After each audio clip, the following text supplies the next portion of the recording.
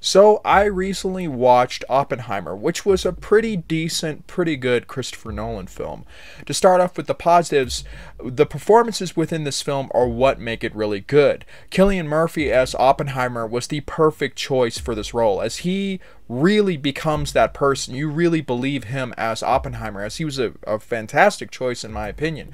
Other actors, such as Robert Downey Jr. as Lewis Strauss, Chris Hartnett, who's in this film, who I haven't seen in a long time in TV or in movies, I think he does a really good job. There's also another actor who plays the father of the hydrogen bomb, the guy who developed that. I forgot his name, but he was actually a really good actor as well. There was a lot of solid performances throughout this film, and I think that they really were able to become those real persons. And I was glad for the choice of actors because there's really no bad choice of actors in this movie that I can think of.